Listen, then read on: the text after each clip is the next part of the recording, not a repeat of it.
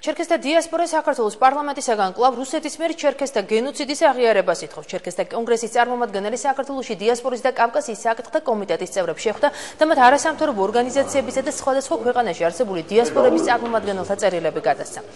საქართველოს პარლამენტში ჩერქესთა გენოციდის აღიარების საკითხზე მსჯელობა მეცნიერებსა და ექსპერტებთან ერთად უკვე ერთი წელია მიმდინარეობს.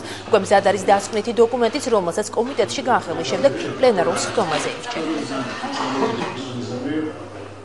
მთელი ჩერქეზული საზოგადოება და მთელი კავკასიური საზოგადოება არის ერთსულოვანი იმ მოთხოვნაში, იმ მიმართვაში, რომ საქართველოს პარლამენტმა აღიაროს ჩერქეზი ხალხის გენოციდი, რომელიც ჩაიდინეს რუსმა კოლონიზატორებმა.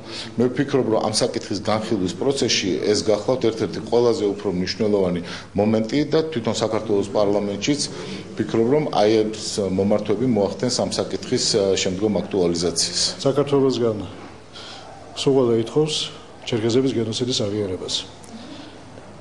რატომ საქართველოსგან? საქართველოს დღესდღეობით არის ერთადერთი რეალური მოთამაშე კავკასიაზე, დამოუკიდებელი მოთამაშე, რომელსაც გააჩნია ის პოტენციალი, რომ გახდეს რეგიონალური ლიდერი